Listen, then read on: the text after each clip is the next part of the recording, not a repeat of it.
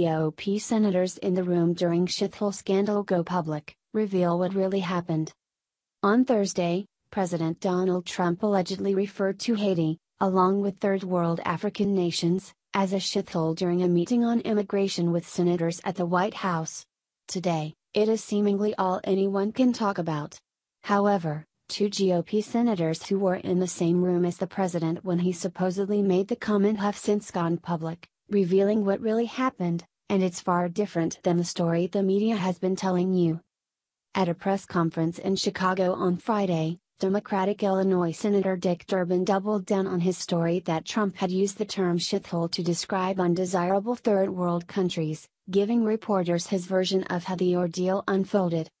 When the question was raised about Haitians, for example, we have a group that have temporary protected status in the United States because they were the victims of crises and disasters and political upheaval, Durbin said Friday. The largest group is El Salvadoran, the second is Honduran and the third is Haitian, and when I mentioned that fact to Trump, he said Haitians. Do we need more Haitians? And then he went on and started to describe the immigration from Africa that was being protected in this bipartisan measure, continued Durbin.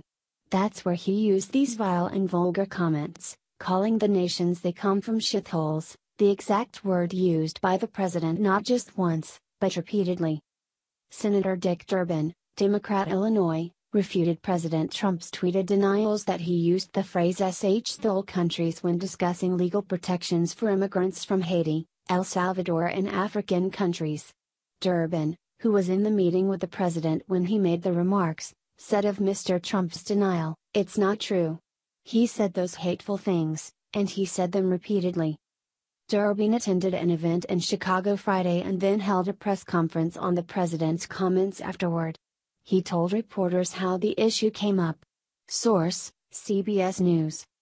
However, there are two sides to every story, and the version being put forth by two men who do not have an anti Trump agenda is much, much different. In a joint statement issued on Friday afternoon, Republican Senators David Perdue and Tom Cotton, who were in the room when Trump allegedly referred to Haiti as a shithole, emphatically claimed that they do not recall the president making that comment. President Trump brought everyone to the table this week and listened to both sides, they said. But regrettably, it seems that not everyone is committed to negotiating in good faith. In regards to Senator Durbin's accusation, we do not recall the president saying these comments specifically, but what he did call out was the imbalance in our current immigration system, which does not protect American workers and our national interest, the senators added. We, along with the president, are committed to solving an issue many in Congress have failed to deliver on for decades, they concluded, leaving no doubt that the media and Democrats have blown this scandal out of proportion. To conclude, you can take the word of a pro amnesty senator who hates President Trump with a passion and would love nothing more than to see him taken down. Or, you can consider that two other men who were also in the room when Trump allegedly called Haiti a shithole have adamantly refuted the story. Even if you do think Trump called third world countries a harsh word, you cannot say that he was wrong. Haiti is a certifiable shithole. That's why everyone who lives there is trying to leave and come here. At worst, Trump was telling the truth in his signature, politically incorrect way.